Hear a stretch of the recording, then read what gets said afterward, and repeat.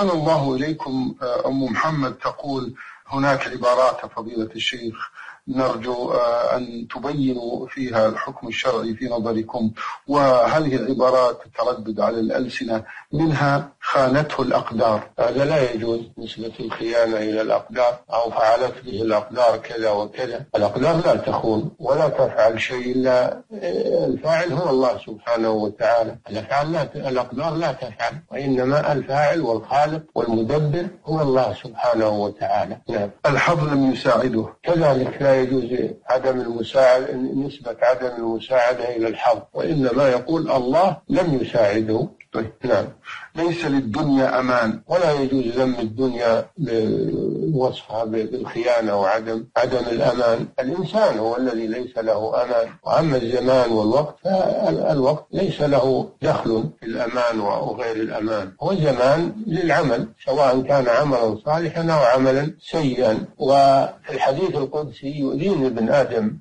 يسب الدهر وأنا الدهر بيدي الليل أقلب الليل والنهار. وفي رواية لا تسب الدهر فإن الله هو الدهر فلا يجوز ذم الزمان وذم اليوم وذم الساعة وذم الشهر وإنما الإنسان يرجع إلى نفسه ويحاسبه. ما أصابكم من مصيبة فبما كسبت أيديكم فيحاسب نفسه على ما حصل له من ما يكرهه وأن ذلك بسبب ذنوبه ونفسه الأمارة بالسوء ويؤمن بأن ما أصابه بقضاء الله وقدره. ما أصابك من حسنة فمن الله وما أصابك من سيئات فمن نفسك فهو السبب فيها والمقدر لها هو الله جل وعلا قدرها عليه بسبب ذنوبه. نعم.